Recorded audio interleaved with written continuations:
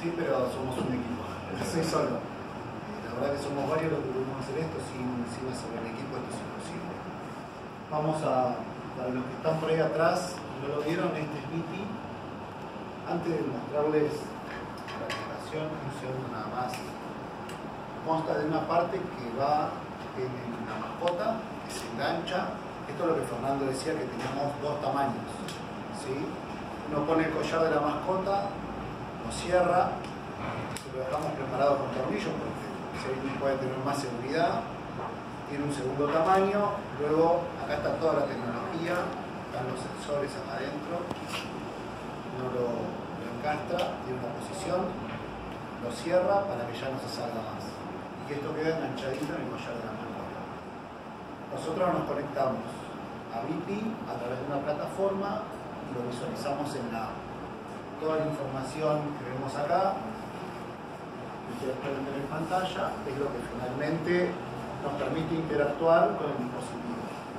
La aplicación lo primero que pensamos es en una vista temprana y rápido de, lo que le está pasando a la mascota.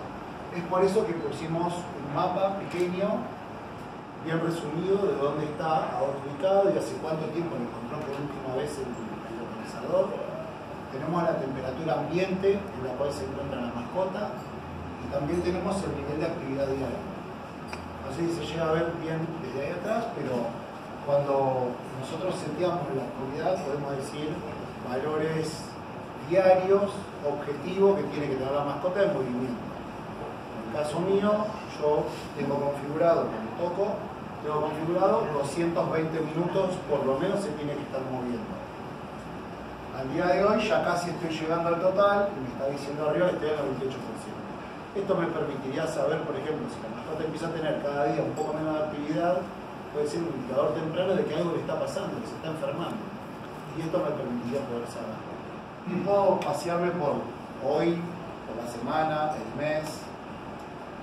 Estando en el mapa, si uno pincha el mapa, empieza a encontrar bien detallado dónde estoy ubicado, hace cuánto tiempo me ubicó allá arriba, la dirección donde está. Esto siempre pensamos que es bien aproximado, nunca me muestran exactamente el metro donde yo estoy.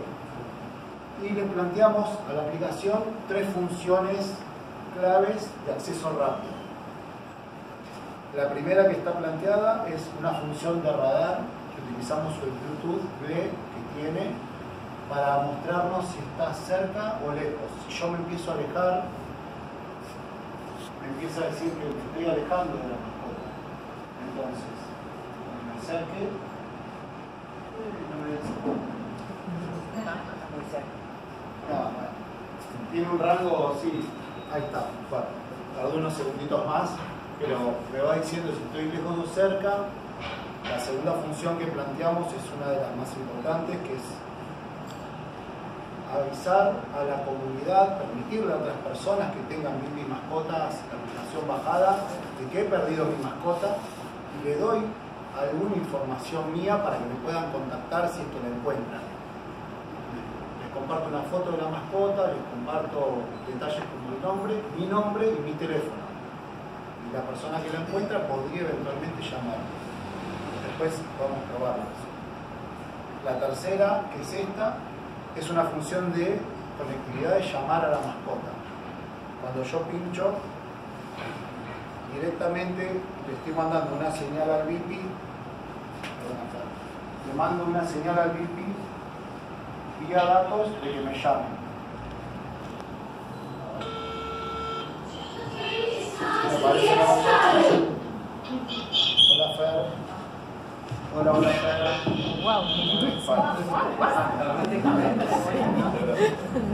Vamos, sí, estaba haciendo un poco de lío. ¿Se entiende un poco dónde estamos entonces? Tengo pulgas.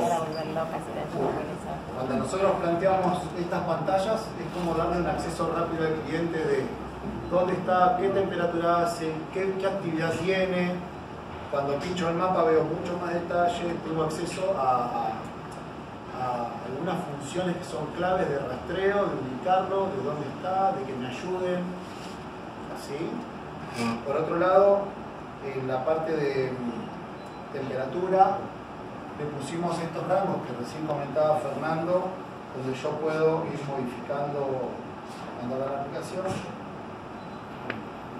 voy modificando el máximo y el mínimo, a partir del cual me empieza a avisar que hace frío o calor.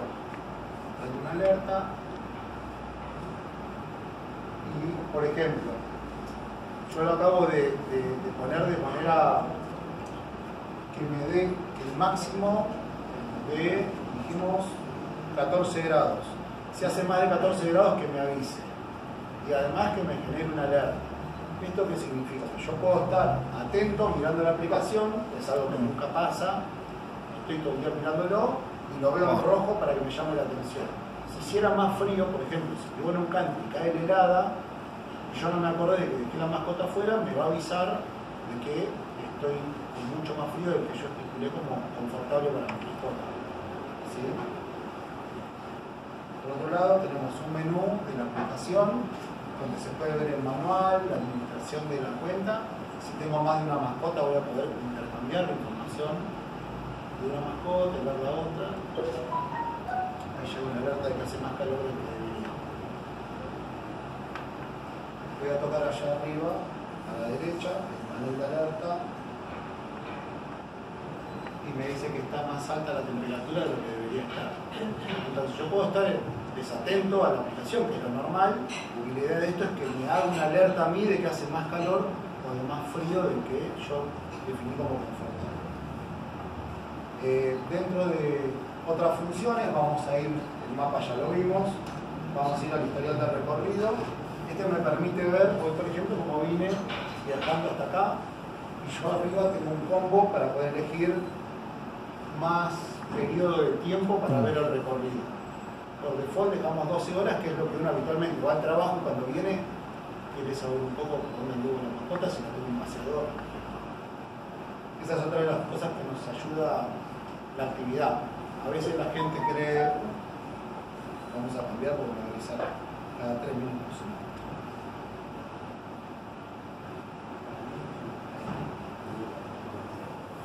de manera permanente, si no me va a ir avisando que, no me olvide que hace más frío más calor la actividad, mucha gente dice, si lo dejo un paseador y no sé si realmente lo pasean, qué hacen, y ahora con esto van a poder saber si realmente se mueve o no se mueve o qué estuvo haciendo.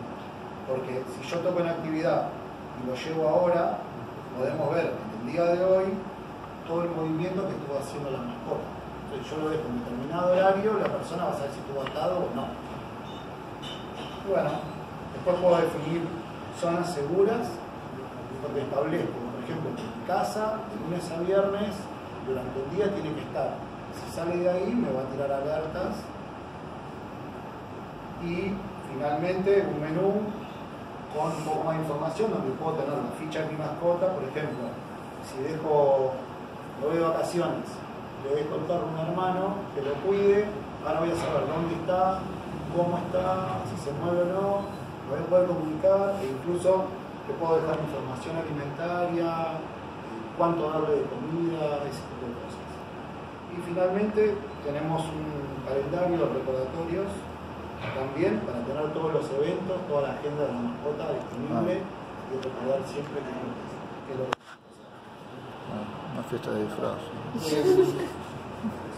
Hasta acá es lo que tenía para contarles, un repaso, todo esto